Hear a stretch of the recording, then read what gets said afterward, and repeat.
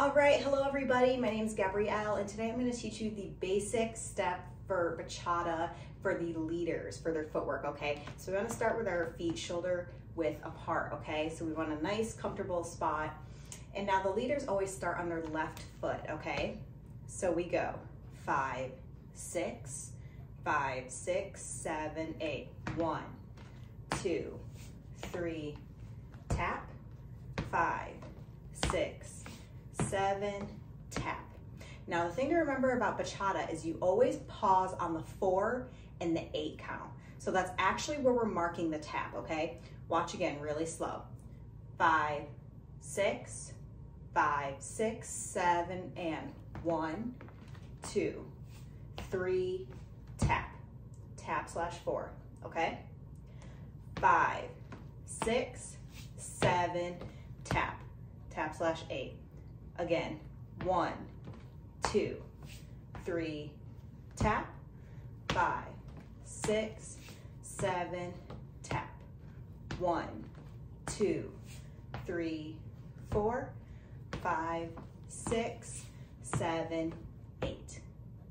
Now, if you're a little bit newer and you wanna keep track of your place, a nice key for you to remember is the foot that you tap with is the direction that you're gonna go next, okay? So when I tap with my left, that means I'm going to my left, okay? When I tap with my right, I'm going to my right. So let's try it again from the top. Five, six, five, six, seven, and one, two, three, tap. See, I just tapped my right foot. Now we're gonna go to the right. Five, six, seven, tap. I just tapped my left. We're gonna go to the left. One, two, three, four, five, six, seven, tap. All right, so another key that we wanna remember is we're actually bringing our feet together on the even numbers, okay? So watch super slow. So we step one on two, our right foot joins our left.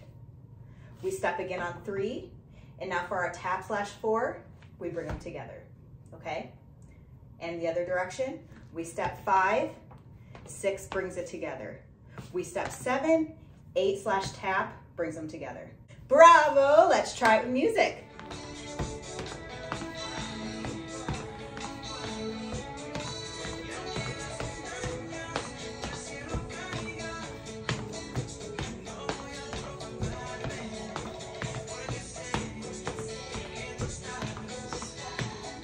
One, two, three, tap, five, six, seven, two, three, tap, five, six, seven, tap. One, two, three, tap, six, seven, tap.